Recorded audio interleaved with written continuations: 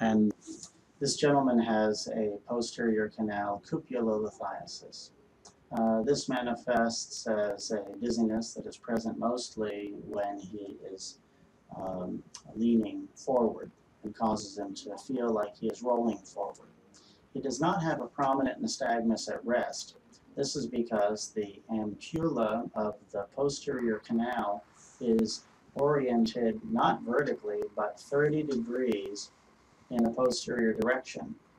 This means that patients with cupulolithiasis will have a constant stimulation which will habituate. We may see the response better when they lie flat with their face forward because this um, will put their cupula maximally stimulated in a direction in which they are not habituated. The, uh, so let's uh, have you lean forward now. That's great. Face is facing the floor, and what we should see uh, is a emergence of a downbeat nystagmus, and we are in fact seeing a downbeat nystagmus.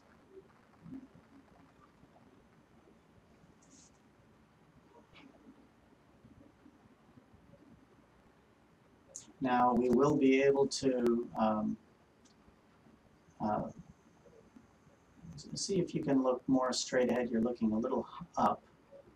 That's perfect. Now we can see the downbeat nystagmus better. And that's good. Go ahead and we're going to sit you up.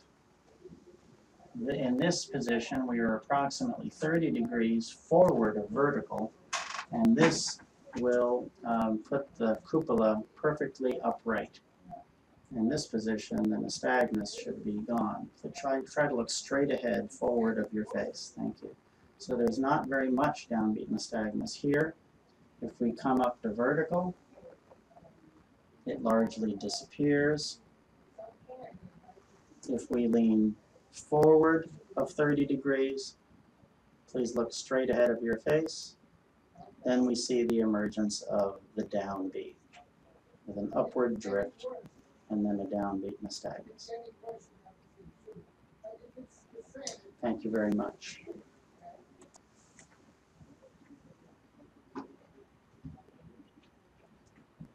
So we have a downbeat nystagmus associated with posterior cupulolithiasis.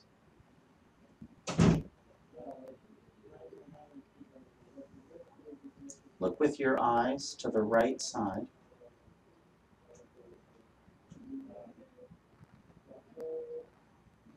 When he's looking to the right side, he's looking in the plane of the left posterior canal.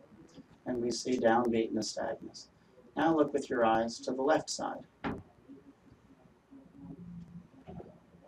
On this direction of gaze, we do not see, so please look more to the left and not so much up. We do not see a downbeat. And this uh, demonstrates to us that probably his cupulolithiasis is involving the left posterior canal. You can look back to the middle.